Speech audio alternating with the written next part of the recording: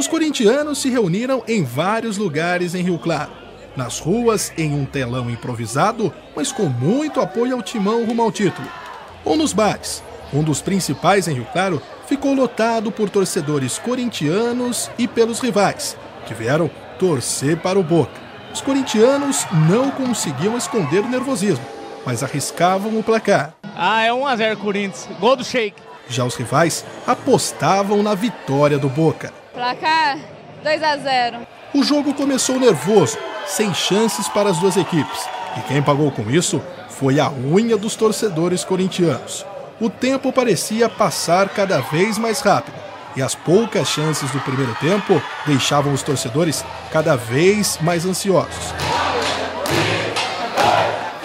E os rivais faziam questão de demonstrar o seu apoio à equipe argentina. O primeiro tempo não saiu do 0 a 0. Já a confiança do torcedor alvinegro continuava 100%. Vai Corinthians! Vai dar, pô. Vai que vai dar. Esse ano ou será que não vai ser esse ano? Vai ficar Corinthians? Você é pergunta que me faz, rapaz? Você tá de sacanagem? Claro que vai dar esse ano.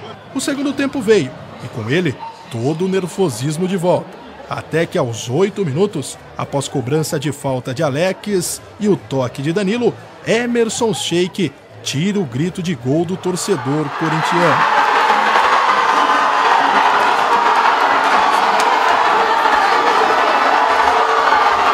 O Boca assustou. E o torcedor corintiano comemorou a boa defesa de Cássio. Logo em seguida, erro do Boca e presente nos pés de Emerson Sheik, que faz o segundo para delírio do torcedor corintiano.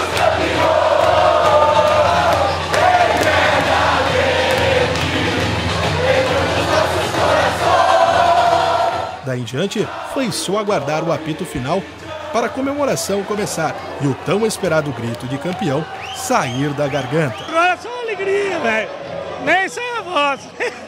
Campeão, portanto, agora é só comemorar. Campeão, graças a Deus.